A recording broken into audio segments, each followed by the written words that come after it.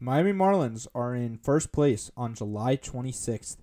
Who would have thought coming into this year that that would be the case? But here we are. The 2 and 1 Marlins have a stranglehold on first place in the National League East. What an unusual time we are living in. What's going on, guys? It's Ethan Budowsky here with a reaction to the Marlins and Phillies opening series getting started the 2020 season.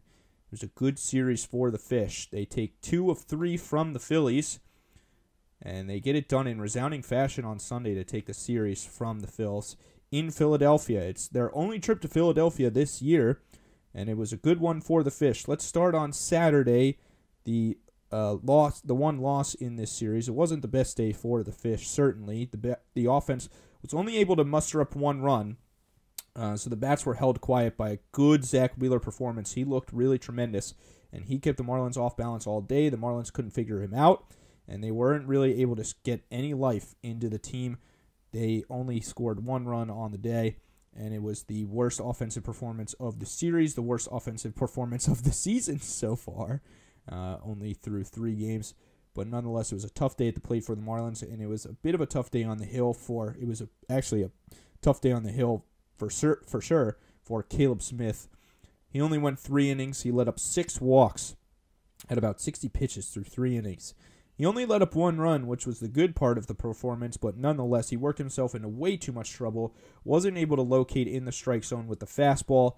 That meant he couldn't keep hitters off balance with the curveball and get guys out, and he just wasn't able to do it. And uh, it was a tough day for Caleb, certainly, and we hope there won't be tough days like that for him in the future because he is an important part of the Marlins rotation, no matter how much I. Uh, I, I brag on Caleb. He is a big part of the Marlins rotation as their number two starter, and the Marlins need him to be good going forward if they're going to have success this year, certainly.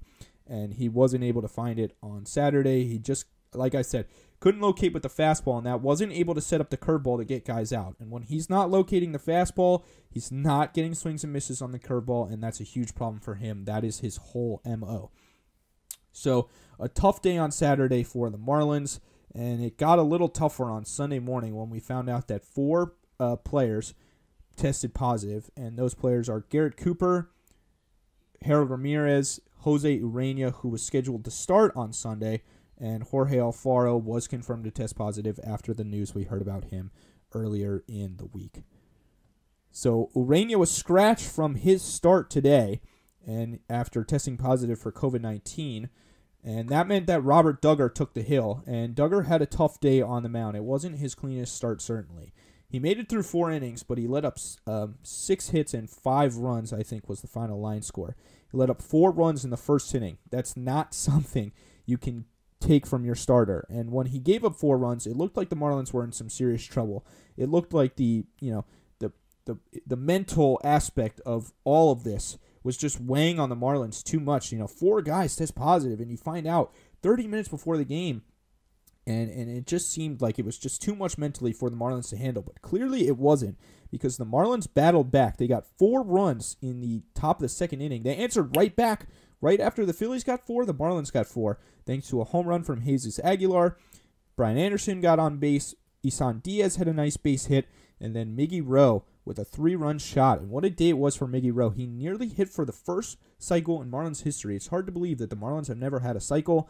Miggy Rowe almost got it done today. He came up a double shy. But nonetheless, it was a great day for him. He got the offense jump started. He was the life in the offense all day today. Brian Anderson added a home run. Corey Dickerson added a home run. So that's four for the Marlins on the day. That's not something we saw a lot of last year. And if you watch my MLB The Show streams where I was calling Marlins games, I talked the entire time pretty much about how the Marlins had to find some power. They had to inject some life into this offense. And by by signing established major leaguers such as Dickerson, such as Aguilar, such as Villar, that's the life they were looking for. And Aguilar and Dickerson provided it today. They went deep. And Dickerson you know, we talked about on Friday on uh, Friday on opening day. He was the spark plug for the Marlins, and he certainly added that to that today. Brian Anderson um, had a nice game. He had two base hits. Isan Diaz hit the ball um, hard three times. That's much better from Isan. That's the kind of stuff that we're looking for, certainly from him. You know, it, it was a rough opening day for him, but he was able to get back on track today and find his stuff. And I think you know we talked about his approach is so advanced, the way he's able to take you know take pitches, find his pitch. It will come with Isan. Um, I'm not worried. I'm not panicking. He showed the kind of player that he can be today. So he drove the ball hard three times, and that's what we're looking for. The Marlins are staying in Philadelphia um, because of the coronavirus situation. Um, and we'll talk about that more at the end of the video. But it's certainly a concern right now. And because of that, a guy like Magneuris Sierra got a chance um, because of Harold Ramirez's positive test. He started out in center field today, and he had a double or a triple, excuse me, and a base hit. He looked really good. Um, so overall, it was a really great day for the Marlins. And um, even though they're going to be staying overnight in Philadelphia, you know, it's such a crazy situation. It's such a, you know, it has to be weighing on the Marlins mentally. And like I said, we thought that it was doing that and affecting them on the field with their performance in the first inning today. But what an impressive emotional comeback for the Marlins. It wasn't just the way they came back on the field, it was the way that they answered mentally that was so impressive. And it may just look like another win. You know, it's the third game of the season. Who knows how the season is going to pan out? They're only 2 and 1. But this feels like a really, really big win for the Marlins. You cannot overstate enough how much mentality this takes to come out and play after what happened this morning and then to go down immediately for nothing and then to answer and win 11 to 6. It was really a resounding win for the Marlins. So let's talk about some of the highlights of the weekend, some of the things that, you know, I talk about all the time, some things we love to see. The first was Nick Neidert. He pitched on um, Saturday, and he looked really good. He he wasn't the cleanest with his command.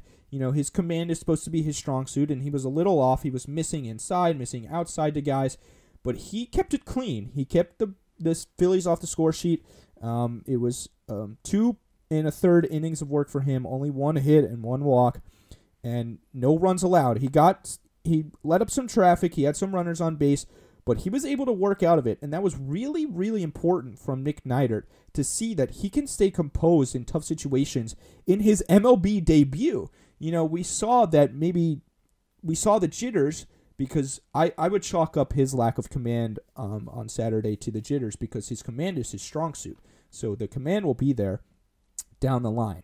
Um, and, you know, I kind of chalked that up to jitters, and it was good to see him have those jitters, get him out, settle in, and work two and a third clean innings. And I thought Donnie should have left him in and let him try and finish out that third inning, and it would have been really good for his confidence to let you know to get three innings of work because right after that, Alex Vesia came in and he let up a home run. That was certainly something we don't love to see from a guy that we were all really excited about. I'm sure we'll see better from Vesia in the future.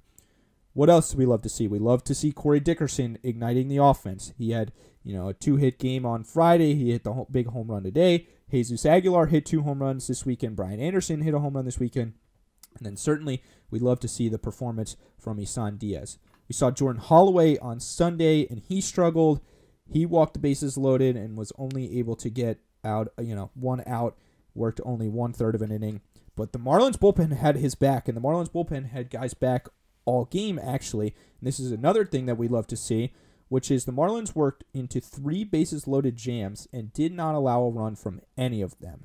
And so the bullpen, which we all think is the weak point of this team, came up big on Sunday. They kept the Phillies from getting back into the game, and the Marlins got a big win, a big resounding 11 to 6 win over the Phillies. They take 2 of 3 from the Phils in Philadelphia. And now we wait and see. And we wait and see if Nick Neidert will slot into the starting spot. You know, it's possible that he takes Urena's spot. I think he probably should take Urena's spot.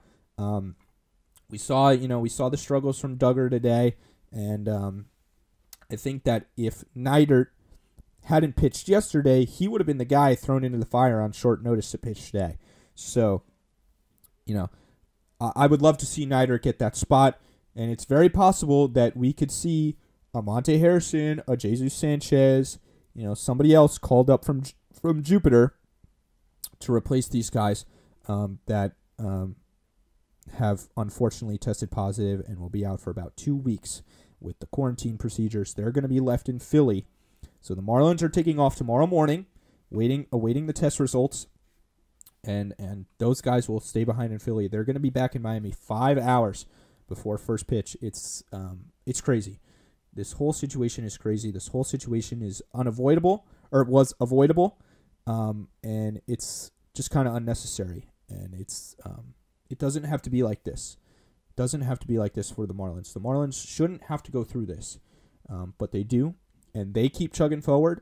And because of that, we're going to keep chugging forward. We expect the Marlins to go, um, you know, home and play the Orioles tomorrow night. Um, it'll be Pablo Lopez on the hill for the Marlins. And then on Tuesday, it'll be Elieser Hernandez before it goes back to the top of the rotation and we get to see Sandy again. So the Marlins go home tomorrow for three against the Orioles, and we'll have to see if we can even make it. Nonetheless, it was a really, really good opening series for the Marlins. They take two of three from a division rival, a division foe that a lot of people thought would be better than the Marlins. And these bottom feeders showed that they're here uh, to play and they're here to win. And it was very exciting to see the Marlins perform well. So if you like this kind of content, make sure to just subscribe to Fish Stripes YouTube channel. I'm going to be doing this stuff on a pretty regular basis. Um, I'll react to the Orioles series after that series is complete. And then, you know, big wins, big losses, whatever the case may be, I'll be here to talk to you guys. If you want to interact with me on a daily basis, if you want content like this on a daily basis, follow me on Twitter at EB underscore Gators, and we can chat about the Marlins whenever you like. I'll be there all the time. It's the only thing I've got going on right now to chat about the Marlins. So the Marlins take two of three from the Phillies. They go home to take on the Orioles tomorrow night.